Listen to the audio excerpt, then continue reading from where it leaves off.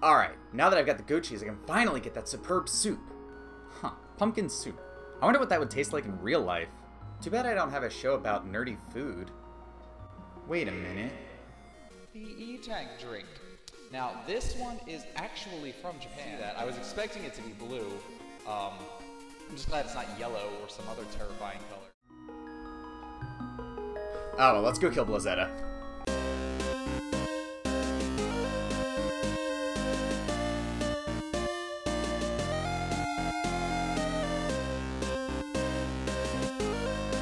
Hi, I'm Falshane, and welcome to Snack Attack, where we make your favorite fantasy foods a reality. In today's episode, we'll be making Yeto's superb pumpkin soup from The Legend of Zelda Twilight Princess. The Legend of Zelda franchise has always been known for its wide array of mystical items, and few are more iconic than the magical potions that grant Link aid in his time of need. While the most recognizable are the red, green, and blue potions, the series has been known to provide its hero with more unique potables on occasion. While it may be short of impossible to tell what goes into creating any one of these beneficial brews, there is one whose primary ingredients are provided through the course of completing a dungeon.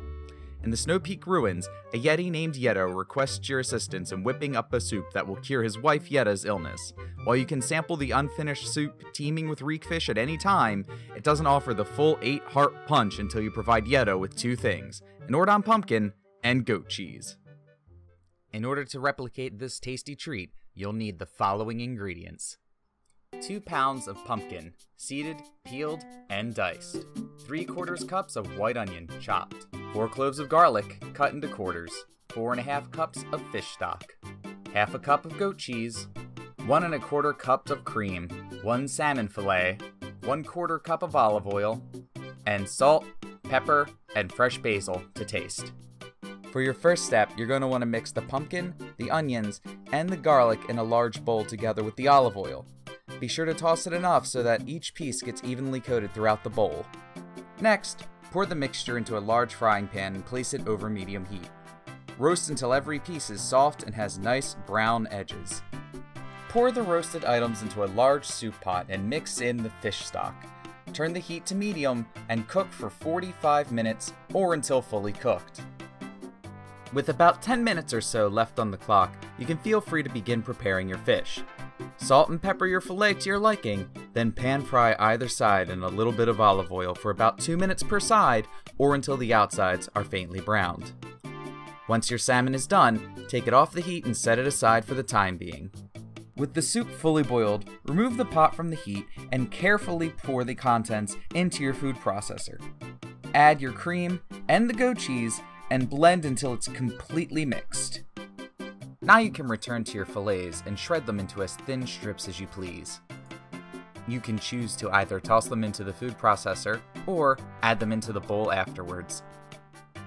Finally, with the salt, pepper, and basil, season the soup to your personal preference. There's only one thing left to do, and that's to choose a suitable container for your meal. For ease of access and travel, I prefer the classic bottle. Now to give it the old taste test. Mmm, that is good.